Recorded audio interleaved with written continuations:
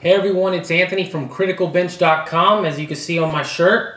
And today I have a great, great video for you on a supplement that I've just tried out for two weeks. And I gotta say, I really, really like it. And that supplement is right in front of me. Look at it. Shred 360 from AS Research.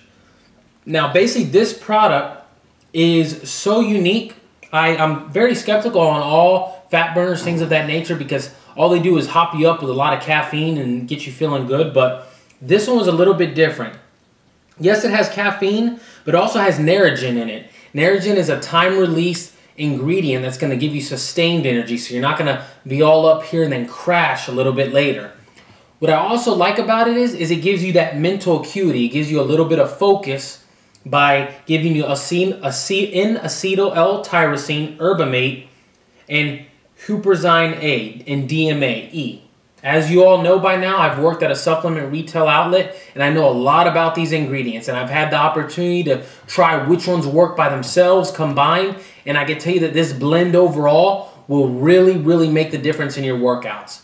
And you're going to want to take, as the bottle says, two capsules. There's 60 in the container and I just like to do two right before a workout. You know, it's really up to you. Some people like to do it right when they wake up. I, I work out in the mornings about 9 or 10 a.m. So two pills, that's it.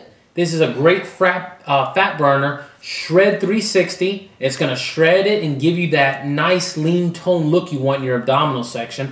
I hope you guys enjoyed this video. If you want more from criticalbench.com, make sure and first subscribe to the channel and click the link below in the description section because guess what? There's a special savings link for you on this product.